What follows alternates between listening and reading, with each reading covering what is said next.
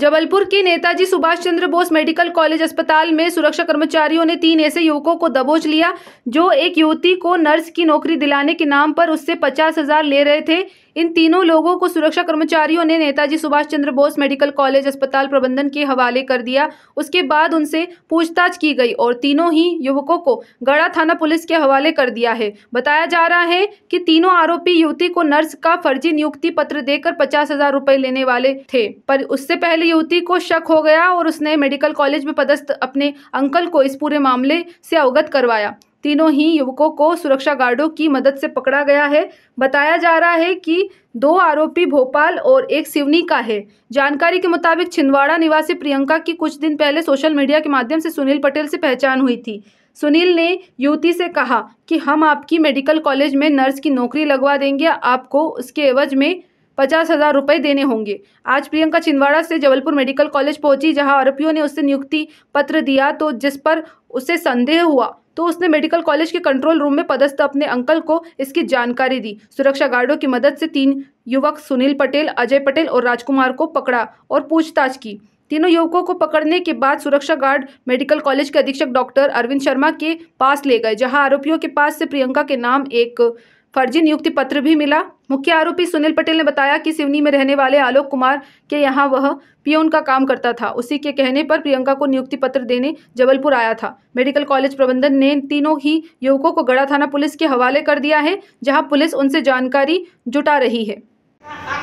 आ, जी भैया कौन है और आपको कैसे सूचना मिली थी कि ये लोग मेरी भतीजी प्रियंका चौरिया छिंदवाड़ा में प्राइवेट हॉस्पिटल में जॉब करती है। उसको कहीं से कॉल आया कि आपके द्वारा मेडिकल कॉलेज जबलपुर में स्टाफ नर्स संविदा की भर्ती निकली, उसमें अप्लाई किया था। आप जबलपुर आ जाओ, हम आपको ज्वाइनिंग करा सकते हैं।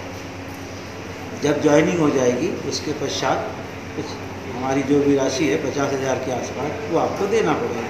हम आपको पहले ज्वाइनिंग कराएँगे, उसके बाद पैसे देंगे। तो हमने भतीजी से कहा कि ठीक है, आ जाओ। मेडिकल कॉलेज में देखते, ऐसा तो होता नहीं है हमारे मेडिकल में कि डायरेक्ट इंटरव्यू ना हो और हाथ में ज्वाइनिंग लेटर मिल जाए। हमने कहा आ जाओ आज जब हमारी भतीजी ढाई बजे आई तो ये जो तीनों डिफेक्टर जो थे, काम करने वाले, ये तीनों एक एक करके मिले। मिलने के बाद इन्होंने तो तीन घंटे घुमाया कि अभी आपका इंटरव्यू होगा, अभी आपके डॉक्यूमेंट वेरीफाई होंगे, फिर आपको लेटर मिलेगा। साढ़े चार बजे के आसपास इन्होंने, बिना इंटरव्यू बिना कुछ हुए, हमारी भतीजी के पास आके ज्वाइनिंग लेटर दिया।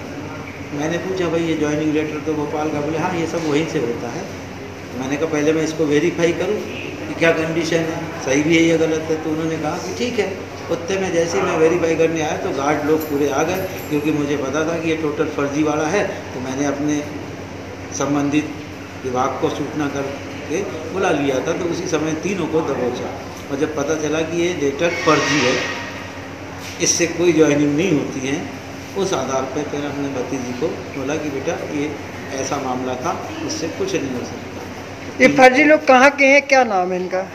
ये वहाँ पे सिक्योरिटी ऑफिसर है वो बताएँगे। आपका नाम बताइए। राजू मस्के। कहाँ के रहने वाले हैं मेडिकल कॉलेज जबलपुर। ये पूरा मामला सिक्योरिटी गार्ड द्वारा हमारे पास लाया गया ये डॉक्यूमेंट है, प्रियंका चौरिया है संविदा नर्सिंग अधिकारी के लिए है। उसमें मेंशन है कि शासकीय एनसीवी मेडिकल कॉलेज, जबलपुर। और ये भोपाल से कोई पत्र प्राप्त हुआ है। इस पत्र की पूरी विस्तृत जानकारी के लिए और इसकी वेरिफिकेशन के लिए हम इनको मिशन संचालक को पत्र लिखा जा रहा है और सीएमएचओ को। इसकी सत्यता जानने के लिए। ये तीनों लोग कौन है और कहाँ के हैं? नहीं उसके बारे में जानकारी नहीं है ये तीनों लोग कौन हैं और कहाँ के हैं। इनके ऊपर क्या कार्रवाई होगी जो विभाग भोपाल विभाग का एक पेपर भी उन्हें दिखाया गया है युवती को और उसके द्वारा यहाँ पे मेडिकल बुलाया गया है। उसको ज्वाइनिंग लेटर दिखा रहे थे वो भोपाल के पेपर में। उसके लेटर के संदर्भ में उस लेटर के संदर्भ में अभी हमारी तरफ़ से तो कोई कार्रवाई नहीं होगी क्योंकि ये जो है, इसकी पहले जाँच के लिए हमने जहाँ से जो पत्र जारी हुआ है भोपाल से, वहाँ हम लेटर लिख रहे हैं। और वो जो संबंधित हैं, उनको थाना प्रभारी को भी उसकी कॉपी दी जा रही है। थाना प्रभारी अपने लेवल पर उसकी जाँच करेंगे। जबलपुर से आशीष बाथरी की रिपोर्ट।